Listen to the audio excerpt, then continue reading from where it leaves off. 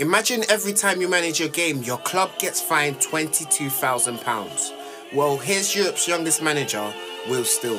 The Belgian-born Brit started his coaching career at Preston North End as an assistant in their under-14 side. Still enjoyed football on and off the pitch and was a big gamer, but he wasn't playing FIFA, he was out here playing Football Manager.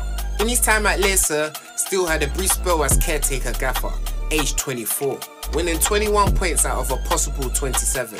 The only problem was he didn't have a UEFA Pro license. Without it, he could only be in charge for 60 days. In comparison to Ligue 1, where the club will pay a £22,000 fine.